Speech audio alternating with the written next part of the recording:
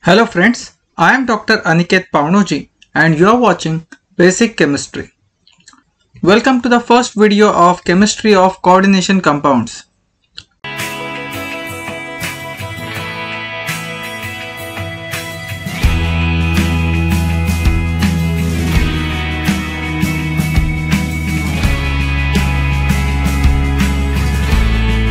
It is very important to identify a coordination compound and one should not get confused between a double salt and a coordination compound.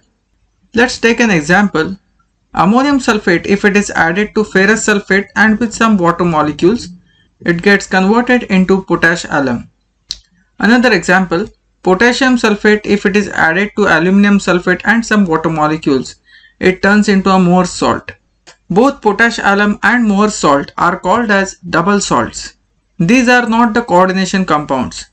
For example, if this potash alum is added to a water, all of these ions will get separated from each other.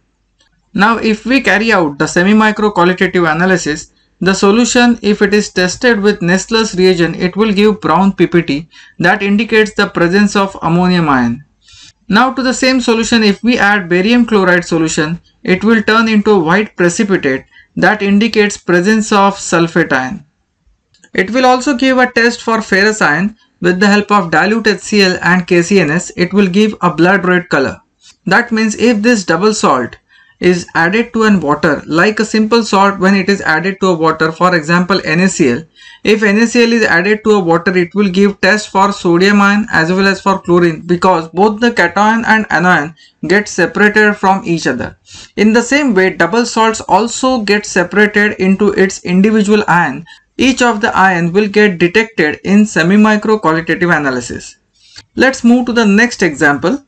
For example K3FeCN6 now if this compound is added to a water, it will get separated into 3K plus plus FeCN6 3 minus. Similarly, CONH6Cl3 if it is added to water, it will give CONH6 3 plus plus 3 chloride ions. Now in the first case, if we carry out a test with the help of sodium cobalt nitrate, it will give a brown color precipitate. That means the potassium ion which is outside the square bracket the test is positive. But if we carry out a test for iron with the help of dilute HCl and KCNS, it will give no result. That means the iron is completely associated with the 6 cyanide ligands and in semi-micro qualitative analysis the test comes out to be negative. That means iron is not giving its individual identity in the similar fashion when CONH6Cl3 is added to water it will give test for chloride ion as it is outside the sphere. When it is treated with AgNO3 solution, it will give white precipitate. If we carry out a test for cobalt ion which is inside the square bracket, the result of the test will be negative with ammonium thiocyanate. Similarly, if we carry out a test for ammonia with the help of Nessler's reagent, it will not give brown color precipitate. That means the ions which are inside the square bracket or inside the sphere, they do not show their individual identity. These compounds are called as coordination compounds.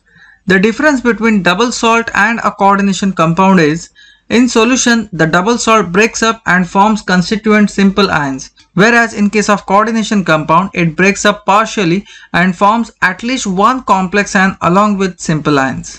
In case of double salt, it is stable only in the crystalline state and loses its identity in a solution.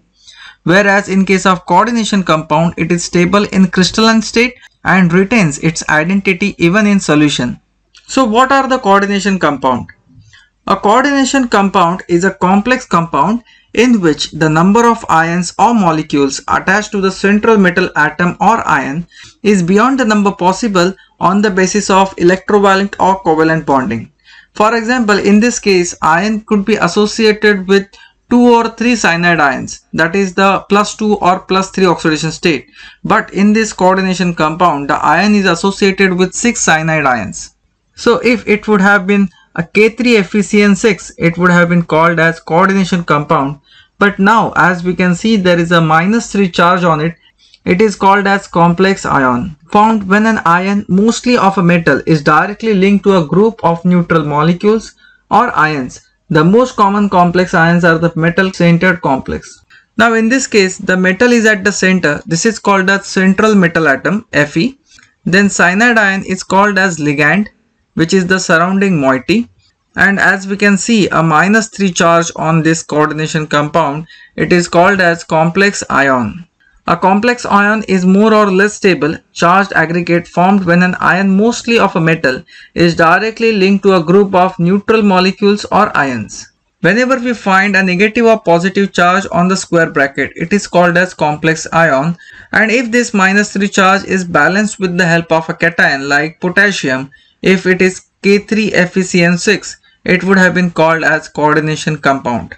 So this was just an introduction of coordination compound. In this coordination compound, a cyanide which is called as ligand. So these ligands are of different types. Basically, these ligands are the molecules or ions which are coordinated to the central metal atom or ion in a coordination compound. We will see in detail what is ligand in the next video and we will also see the examples like monodentate ligands, polydentate ligands. Not only this, we will also see ambidentate and flexidentate ligands. If you like my video, click on like, do share and subscribe my channel. If you want to mention something or ask something, mention it in the comment box. Also hit the bell icon to get the notification of my new videos and keep watching Basic Chemistry. Thank you.